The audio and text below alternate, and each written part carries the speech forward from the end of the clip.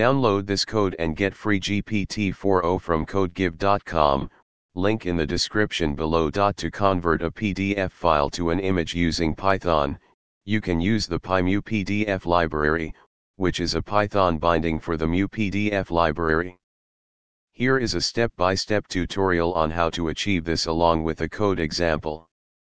Hashtag hashtag hashtag step 1, install the required library. You can install the PyMuPDF library using pip by running the following command.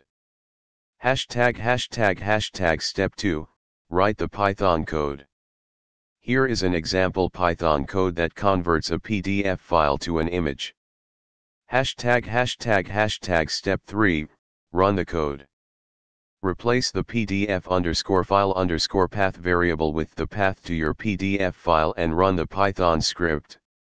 The code will extract images from each page of the PDF file and save them as PNG images with the specified naming template. Hashtag hashtag hashtag note. Make sure to adjust the output image path template based on your requirements.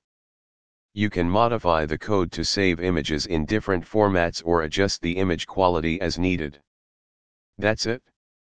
You have successfully converted a PDF file to images using Python.